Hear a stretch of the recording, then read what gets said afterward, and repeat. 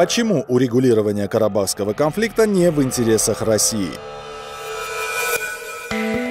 Россия является одним из трех сопредседателей Минской группы ОБСЕ и на протяжении многих лет заявляет, что заинтересована в разрешении карабахского конфликта. Попробуем понять, насколько правдивы эти заявления и выгодно ли Москве установление долгосрочного мира. Рынок вооружений. Как известно, Азербайджан приобретает российское оружие на миллиарды долларов и тем самым обеспечивает большими доходами российскую военную промышленность. Следовательно, разрешение Карабахского конфликта лишит российский военный сектор этих доходов. Кроме того, поставляя оружие в Азербайджан, Москва подсаживает Баку на военную иглу, так как параллельно продавая оружие Армении, вынуждает азербайджанскую сторону приобретать больше оружия.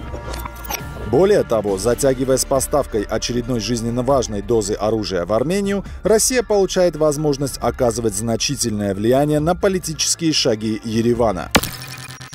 В случае урегулирования Карабахского конфликта Россия потеряет свой статус посредника, что лишит ее рычагов влияния на Баку и Ереван. В случае Азербайджана это может привести к бесконтрольному сближению отношений с Турцией, что крайне нежелательно для России. Именно эти козыри вокруг урегулирования Карабахского конфликта Москва и использует для того, чтобы удержать Баку от чрезмерного сближения с Анкарой.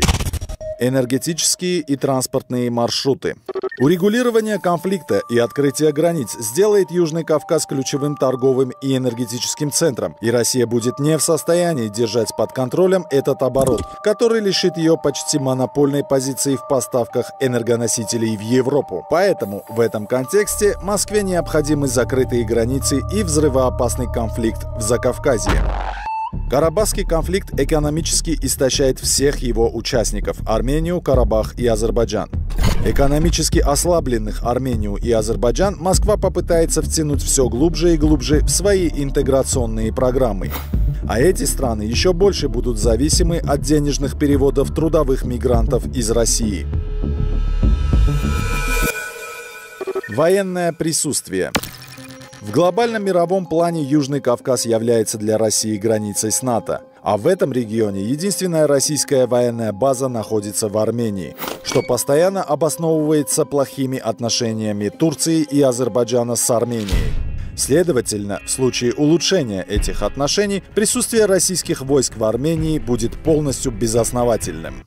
На этом фоне уже неудивительно, что Москва любым способом попытается вывести из переговорного процесса другие страны-сопредседатели Минской группы ОБСЕ, которые заинтересованы в установлении долгосрочного мира.